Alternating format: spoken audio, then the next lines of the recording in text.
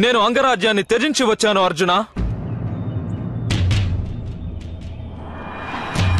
ఇప్పుడు నేను సామాన్య ప్రజలలో ఒకడిని. ఇకపై నీతో యుద్ధం చేసేందుకు నాకు ఏ అభ్యంతరమూ లేదు. నీకు కూడా ఉండదు. ధనుస్సును ఎక్కుపెట్టు అర్జున. ఇప్పుడు అందరికీ నమస్కారం. ఈ వీడియో క్లిప్ అనేది చాలా ఇంట్రెస్టింగ్ ఉండబోతుంది. అస్సలు మిస్ అవ్వకండి. ఫస్ట్ నుంచి లాస్ట్ వరకు ఎవ్రీ మినిట్ చూడండి. ఎందుకంటే ఎవ్రీ మినిట్ మనం ఏదో ఒకటి నేర్చుకోవడానికి లభిస్తూనే ఉంటుంది. అండ్ వీడియోలోకి వెళ్ళే ముందు ఒక లైక్ అయితే వేయండి గైస్ నాకు సపోర్ట్గా ఉంటుంది. సో ఇక లేట్ చేయకుండా వీడియో చూసేద్దాం రండి.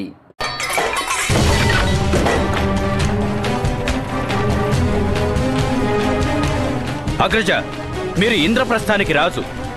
కానీ ఇక్కడ మన పట్ల అన్యాయం జరిగింది. న్యాయం చేయండి. మీరింతగా ఆక్రోశిస్తున్నారెందుకు నాథా? ఇప్పుడే మాకు హస్తనాపురం నుంచి వర్తమానం వచ్చింది. ఈ ఇంద్రప్రస్థ నగర పూజలో పాల్గొనేందుకు ఎవరికీ అనుమతి లేదని. రాజకుటుంబానికి కూడా. మన మాతను కూడా. హస్తినాపురిలో నిర్బంధించారట మాతను. వాస్తవానికి హస్తినాపుర రాజ్యం ఇప్పుడు మాతకు కారాగారంగా మారింది పాంచాలి? రాజమాత వచ్చి నగర పూజలో పాలు పంచుకునేందుకు అనుమతి తీసుకోవాల్సిన అవసరం ఉంటుందా? వాస్తవానికి నగర పూజ జరిపించేందుకు కూడా అనుమతి తీసుకోవలసిన అవసరం ఉంది.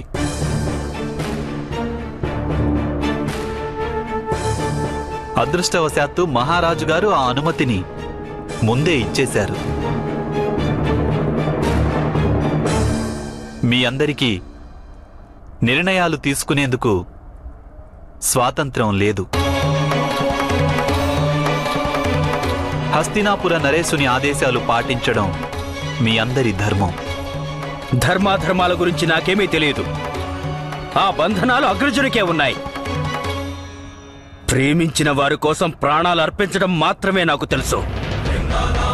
ఎవరైతే శత్రుత్వానికి కాలు దూపుతారో వారి ప్రాణాలు తీస్తాను.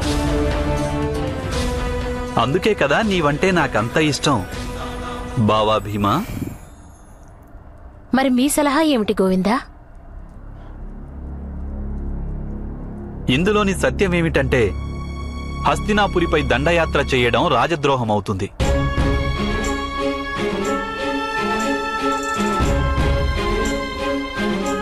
అయితే మరొక సత్యమేమిటంటే ఈ నిర్బంధం రాజుకి మాత్రమే వర్తిస్తుంది.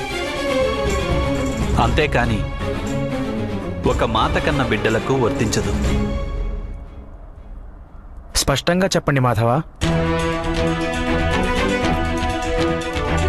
స్పష్టంగా నేనెలా చెప్పగలను పార్థ? ఆమె మీకు మాత. ఈ రాజ్యం మీది. శస్త్రాలు మీవి. ఇక ధర్మము ధర్మము కూడా మీ అందరిది.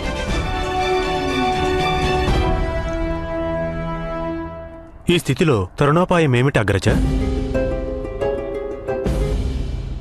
హస్తినపై దండయాత్రకు నేను మిమ్ము ఆదేశించలేను. ఇంద్రప్రస్థ సేనను మీకివ్వలేను. కాని మన మాత పక్షాన మీరు మీరందరూ హస్తినాపురికి వెళ్ళి మహారాజుకు విన్నవించుకోవాలనుకుంటే వలదని నేను మేము వారించలేను. శస్త్రాలను వెంట తీసుకువెళ్ళినా వారించను. అలాగే ఆత్మరక్షణకై ఎవరైనా శస్త్రాన్ని ఎత్తవలసి వస్తే అప్పుడు నేను వారించను.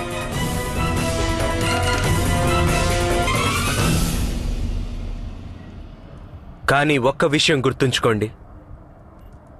ప్రథమంగా దాడి మీలో ఎవరైనా చేశారంటే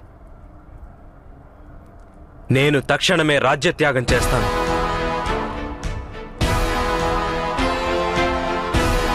మహారథి కర్ణ? మహారథి కర్ణ మీరు నన్ను క్షమించగలరా?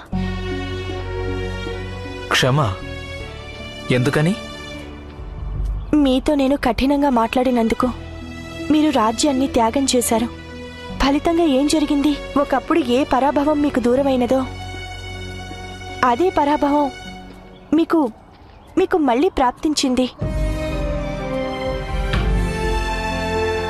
క్షమించమని కోరవలసిన అవసరం లేదు వృసాలి విధి వైచిత్రం ఏమిటంటే నేను ధర్మాధికారాన్ని పొందాలని సామర్థ్యాన్ని సముపార్జించాను. కానీ ఆ సామర్థ్యం నన్ను అధర్మం వైపు తీసుకువెళ్ళింది. వాస్తవానికి నీవే నన్ను జాగృతం చేసావు వృషాలి. ఎవరో అన్యుల వ్యవహారం. నా ధర్మాన్ని త్యజించమని నన్నెలా నిర్బంధించగలదు?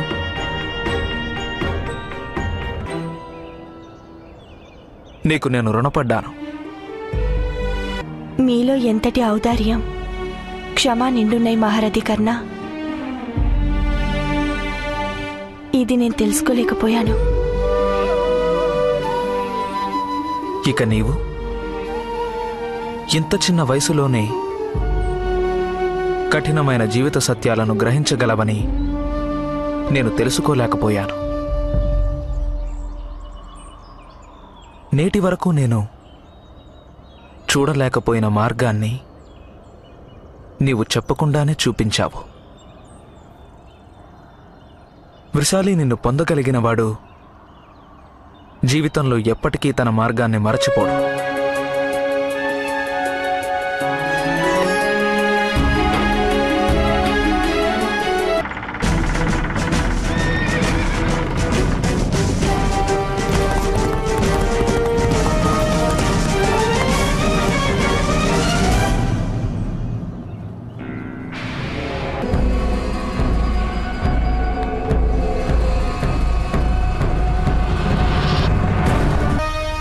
రంగరాజు కర్ణుడా?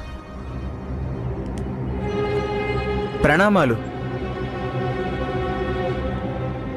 మా నగరాన్ని చూడాలని విచ్చేశారా?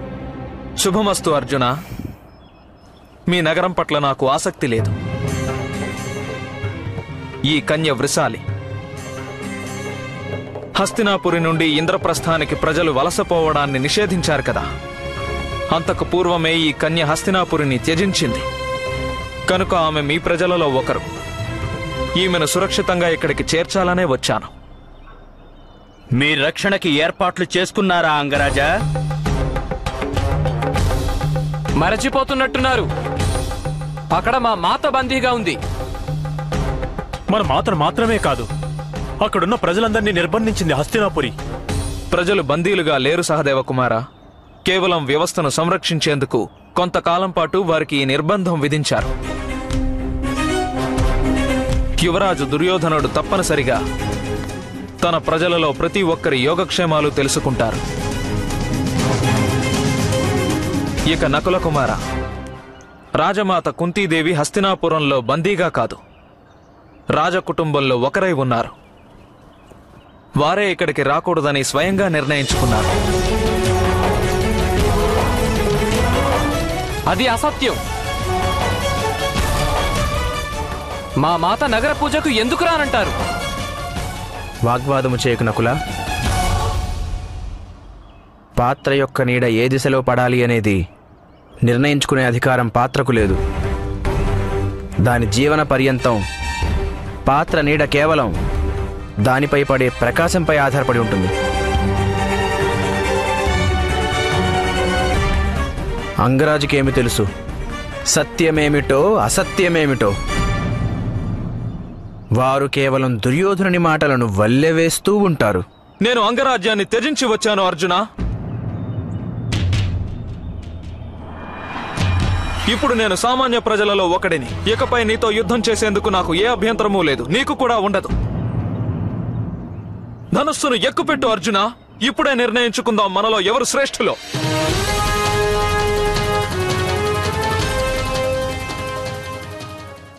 శాంతించు మహారధికరణ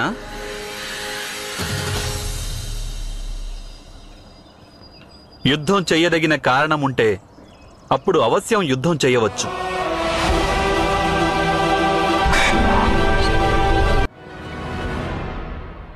కానీ ప్రస్తుతం మీరు ఇంద్రప్రస్థానికి అతిథిగా వచ్చారు.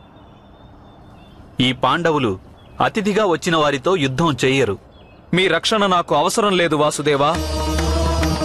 నా ప్రాణరక్షణకు. సాక్షాత్తు ఆ సూర్య భగవానుడే ఉన్నాడు.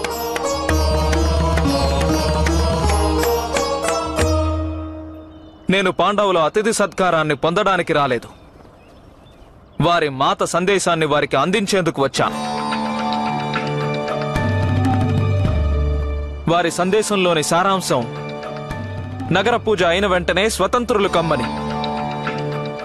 మీ ఇంద్రప్రస్థంపై స్వతంత్ర పతాకం ఎగిరే వరకు వారు ఈ నగరంలోనికి ప్రవేశించనన్నారు.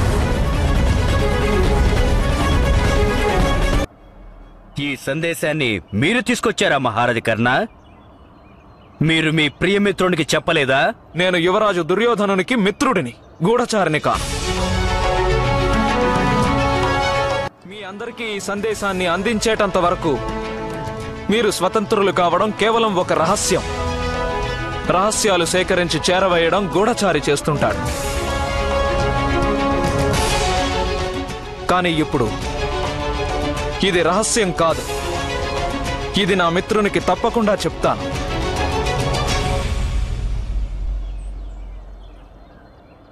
ఒకవేళ యుద్ధమంటూ జరిగితే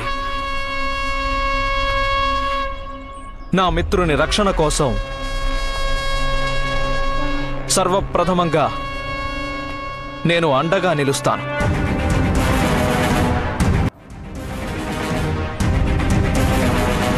ఇదే నా ధర్మము నాకు నేర్పినది. అద్భుతం మహారథి కర్ణ. మీ నుండి నేనిదే ఆశించాను. ఈ కన్యను ఆమె తండ్రి వద్దకు చేర్చండి.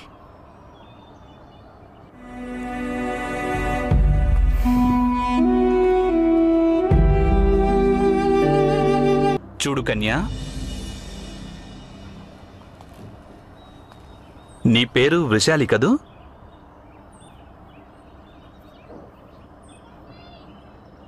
అంతటి వీరపురుషులు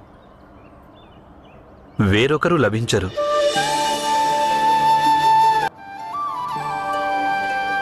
నీకు వారికి మధ్య అంతరం పెరుగక పూర్వమే. నీ మనసుకు నచ్చితే నీవు వారిని అనుసరించి వెళ్ళవచ్చు.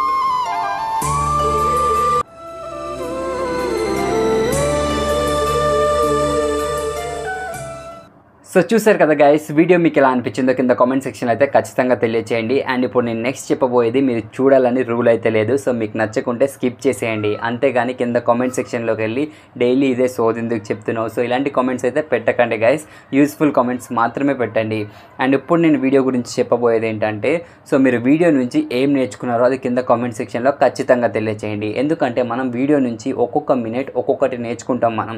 సో అందుకనే మీరేం నేర్చుకున్నారో అది కామెంట్ సెక్షన్లో తెలియజేస్తే దాన్ని ఎంతోమంది చదువుతారు.